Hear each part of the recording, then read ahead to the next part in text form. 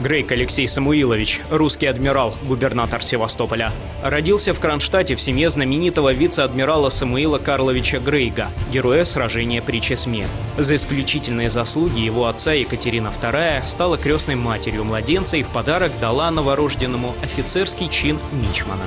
В марте 1816 года он был назначен командиром Черноморского флота и портов, генерал-губернатором Николаева и Севастополя.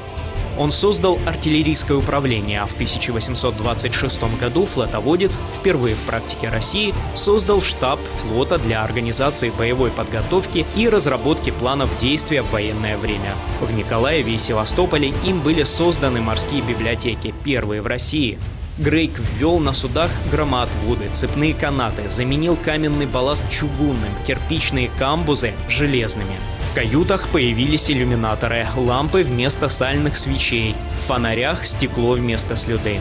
На каждой палубе корабля Грейк установил орудие одного калибра, что упростило снабжение боеприпасами. Благодаря реформам Грейга и под его руководством Черноморский флот стал сильным и хорошо слаженным организмом.